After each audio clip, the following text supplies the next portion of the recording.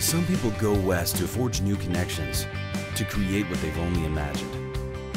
To you, we say, the possibilities are yours. Change your life, change your world. Why will you go?